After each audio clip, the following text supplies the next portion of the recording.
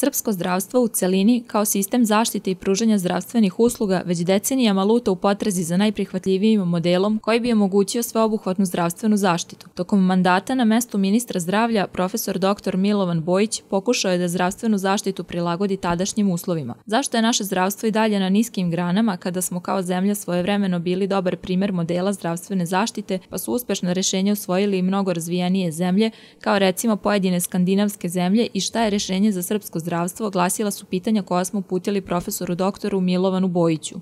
Za srpsko zdravstvo je rešenje temeljna reforma, ali je pozicija srpskog zdravstva dugo, više od gotovo dve decenije, da ono ne može biti dovedeno u poziciju da bude reformisano, mu prvo trebaju mere reanimacije. Znači, ono je na potpunom izdisaju. Srpskom zdravstvu pre temeljnih pravih reformi prethodi reforma zdravstvenog osiguranja. Ja ću vam reći iz mog vremena da smo u nekim etapama, u uslovima kada je Srbija bila u neviđenim sankcijama, bolje funkcionisali nego danas.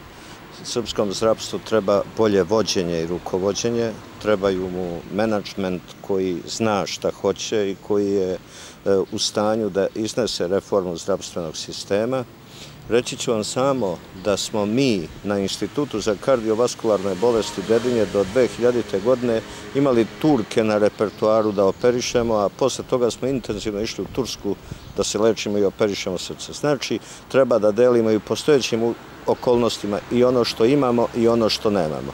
Ali prvo srpskom zdravstvu sledi čovek koji zna, hoće, može i ume da okupi tim, da krene u mere intenzivne reanimacije srpskog zdravstva, a potom u temeljne reforme uz reforme sistema zdravstvenog osiguranja. Prema rezultatima istraživanja Evropskog zdravstvenog potrošačkog indeksa za 2014. godinu, Srbije se i dalje nalazi pri dnu evropske lestvice po kvalitetu zdravstvene zaštite jer je zauzela 33. mesto od ukupno 37 zemalja. Prema rezultatu istraživanja ostvareni rezultati održavaju sumornu svakodnevnicu zdravstvene zaštite u Srbiji, a osnovne odlike zdravstvene zaštite u Srbiji i dalje su neobaveštenost pacijenata, slab pristup i nepovoljni ishodi lečenja.